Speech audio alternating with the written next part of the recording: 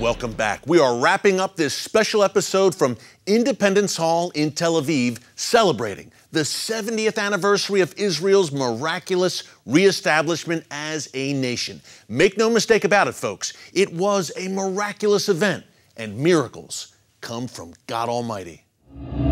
God has a tendency to perform some of his best miracles in the most humble places. And there are so many people around the world that truly believe that this room is one of those places. Yeah. And this changed not only the history of Israel, the Jewish people, it changed the world. It touched the hearts of all those people who holds the Bible one way or another.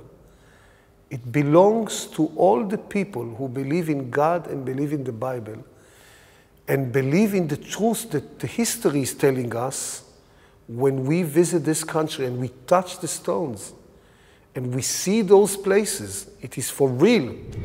Thanks again to Isaac DeRohr for that amazing retelling of the story behind Israel's rebirth. Folks, be sure to visit Independence Hall in Tel Aviv. It is a very special place, and it was a real thrill for me to stand in the spot where Israel was reborn and prophecy was fulfilled. Throughout this year, our team at Christians United for Israel is celebrating Israel's 70th birthday. So be sure to visit our website, cufi.org, to check it out. And while you're there, join our movement. We are America's largest pro Israel organization with over 4.1 million members and growing every day. And for Zion's sake, we will not keep silent.